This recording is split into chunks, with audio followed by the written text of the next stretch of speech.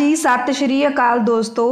Punjab news TV ਦੇਖ ਰਹੇ ਸਾਰੇ ਸਰੋਤਿਆਂ ਦਾ ਜੀ ਆਇਆਂ ਨੂੰ ਜੀ। ਹੁਣੇ ਹੁਣੇ ਕੈਪਟਨ ਨੇ ਆਰਟੀਆਂ ਲਈ ਕਰ ਦਿੱਤਾ ਹੈ ਵੱਡਾ ਐਲਾਨ।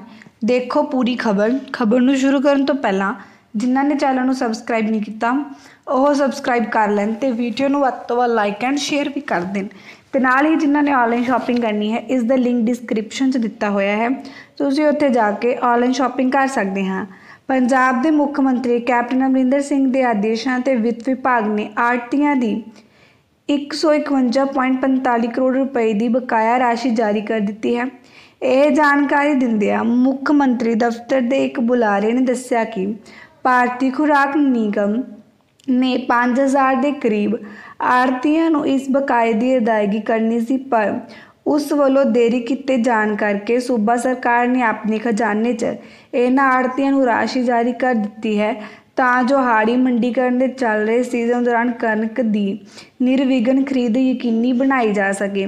ਦੱਸਣਯੋਗ ਹੈ ਕਿ ਕਣਕ ਦੀ ਖਰੀਦ ਸ਼ੁਰੂ ਤੋਂ ਪਹਿਲਾਂ ਆੜਤੀਆਂ ਨੇ ਮੁੱਖ ਮੰਤਰੀ ਅੱਗੇ ਇਹ ਅਪੀਲ ਕੀਤੀ ਸੀ ਕਿ ਉਹਨਾਂ ਦੇ ਬਕਾਏ ਦਾ ਤੁਰੰਤ ਭੁਗਤਾਨ ਕੀਤਾ ਜਾਵੇ, ਜਿਸ ਉੱਤੇ ਕੈਪਟਨ ਅਮਰਿੰਦਰ ਸਿੰਘ ਨੇ ਵਿੱਤ ਵਿਭਾਗ ਦੇ ਐਸਸੀਆਈ ਦੀ ਅਦਾਇਗੀ ਦੀ ਉਡੀਕ ਕੀਤੇ ਬਿਨਾਂ ਇਹ ਬਕਾਇਆ ਰਕਮ ਤੁਰੰਤ ਜਾਰੀ ਕਰਨ ਦੇ ਹੁਕਮ ਦੇ ਦਿੱਤੇ ਸਨ।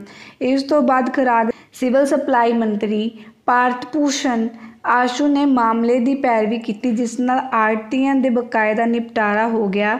ਵਿੱਤ ਮੰਤਰੀ ਨੇ 151.45 ਕਰੋੜ ਰੁਪਏ ਦੀ ਰਾਸ਼ੀ ਸ਼ਰਤ 'ਤੇ ਜਾਰੀ ਕੀਤੀ। ਗਈ ਖੁਰਾਕ ਤੇ ਸਿਵਲ ਸਪਲਾਈ ਵਿਭਾਗ ਕਣਕ ਦੀ ਖਰੀਦ ਤੋਂ ਬਾਅਦ ਜਦੋਂ ਵੀ ਐਫ ਸੀ ਆਈ ਤੋਂ ਇਹ ਰਾਸ਼ੀ ਵਾਪਸ ਆਉਂਦੀ ਹੈ ਤਾਂ ਉਸ ਨੂੰ ਸੂਬੇ ਦੇ ਖਜ਼ਾਨੇ ਵਿੱਚ ਜਮ੍ਹਾਂ ਕਰਵਾਉਣਾ ਯਕੀਨੀ ਬਣਾਇਆ ਜਾਏਗਾ।